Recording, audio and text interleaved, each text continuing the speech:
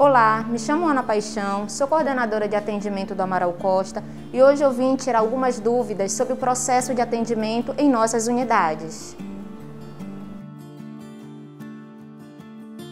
Muitos clientes perguntam diariamente se é obrigatória a apresentação de requisição para a realização de exames. Bem, se os exames forem realizados por convênio, é obrigatória a apresentação da solicitação, carteirinha do convênio e autorização, dependendo da particularidade de cada plano de saúde.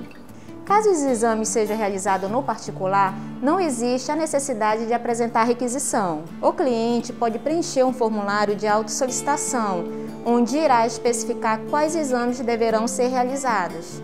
É importante ressaltar, no entanto, que a análise dos resultados deve ser feita por um médico.